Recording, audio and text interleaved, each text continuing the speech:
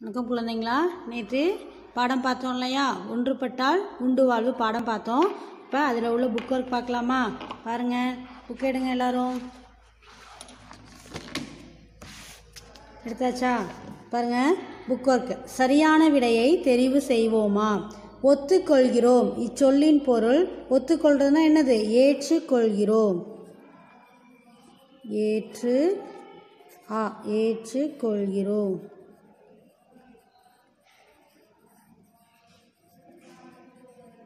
அடுத்து வேட்டை ப்ளஸ் ஆட. இச்சொல்லை சேர்த்தெழுத கிடைப்பது வேட்டையாட. செகண்ட் ஒன் வே வேட்டையாட. இடம் பத்தில் நான் கீழே எழுதியிருக்கேன். சரிங்களா? அடுத்து மரங்களுக்கிடையே இச்சொல்லை பிரித்தெழுத கிடைப்பது மரங்கள் கூட்டல் இடையே. மரங்கள் மரங்கள் கூட்டல் இடையே. அடுத்து அங்கும் இங்கும் இச்சொல்லை பிரித்தெழுத கிடைப்பது அங்கும் ப்ளஸ் இங்கும். அங்கும்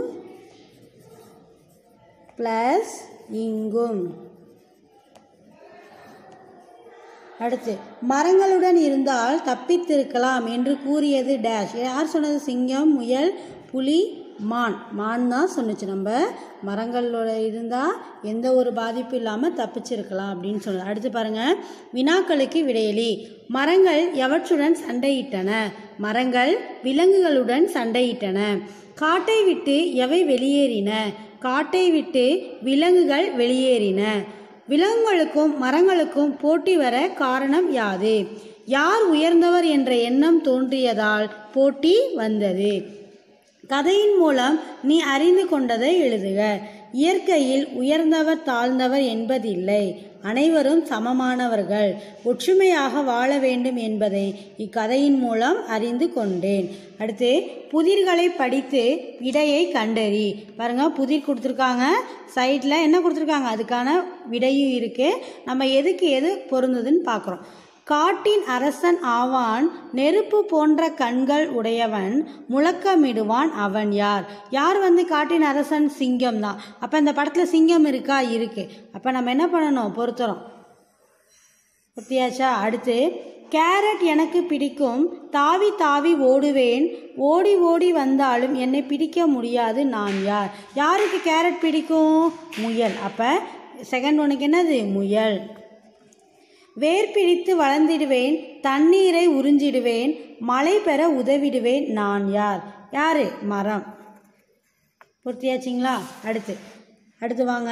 எந்த மரத்திலிருந்து என்ன பொருள் பொருத்துவோமா?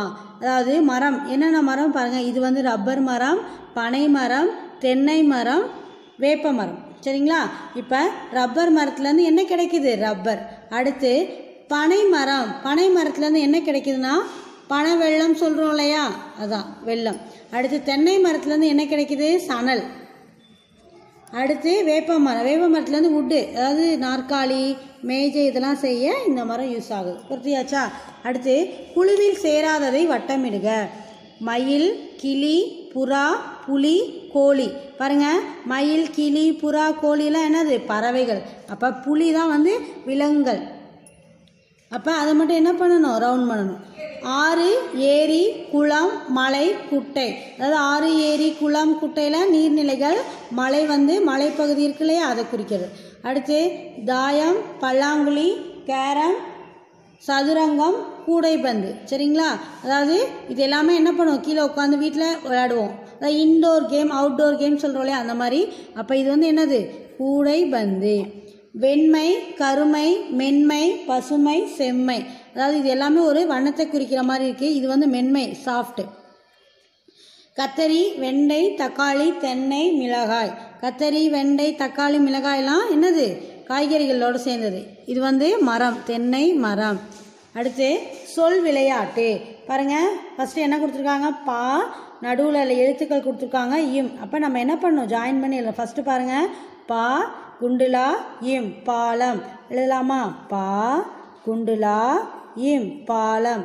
அடுத்து பா சின்னரா இம் பாரம். பா சின்னரா இம்.